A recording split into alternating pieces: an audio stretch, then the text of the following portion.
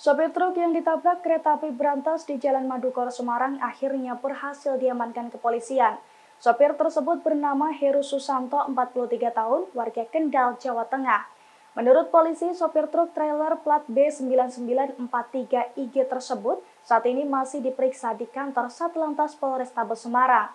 Namun polisi menegaskan bahwa sopir truk tersebut berpotensi menjadi tersangka atas insiden yang terjadi pada Rabu 19 Juli 2023 lalu.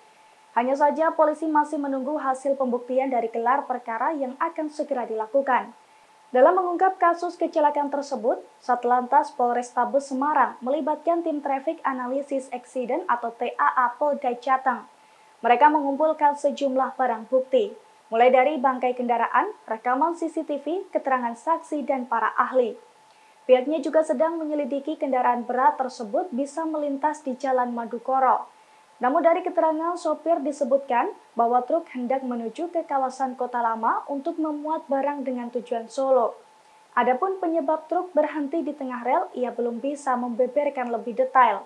Hanya saja dari keterangan sementara para saksi dan rekaman CCTV, tampak truk berhenti sebelum palang kereta turun. Diketahui selepas kecelakaan tersebut, sopir sempat meninggalkan lokasi kejadian. Ia mampir ke rumah kerabat sopir di perumahan Puri Anjas Moro, Kota Semarang.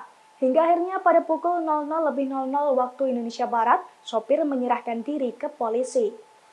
Ada temuan pelanggaran Pak yang dilakukan sopir ini Pak? Nah, ini yang kita dalamin ya. Ya, ya kita duga ya, ya mereka kelas kita akan minta keterangan itu kelas jalannya uh, boleh nggak untuk tronton besar hmm. itu ya, kendaraan itu ya itu kelas jalan berapa kan gitu nanti boleh nggak lewat itu Pak itu ketan di tengah itu apakah menggantung atau memang kenapa Pak? Apakah mogok nyangkut atau, atau seperti uh, apa? Nyangkut atau nah, ini yang masih kita dalamin. Nanti kita minta keterangan ahli. Mohon teman-teman wartawan bersabar ya. Jadi nanti uh, dari fakta-fakta itulah nanti kita gelarkan dan kita pasti ekspos ke teman-teman wartawan. Kondisinya gimana Pak sopir sama kernetnya itu? Sehat Pak, sehat. Jadi memang tadi malam itu mungkin karena dia shock, jadi dia sempat uh, minggir ke Jalan Madukoro itu terus ada rumah saudaranya adiknya di uh, Purian Jasmoro di situ di Semarang Indah itu di dia ke sana. Berarti kabar kabur itu tidak benar Pak ya? Tidak, jadi tidak. dirinya kapan Pak? Tadi malam jam 12-an ya. Kernek juga jam 2 di sini.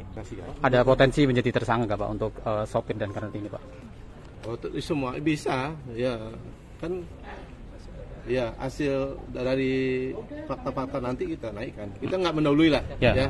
Kita gelarkan dulu. Hmm. Ya memang prosedur begitu. Terima kasih sudah nonton. Jangan lupa like, subscribe, dan share ya.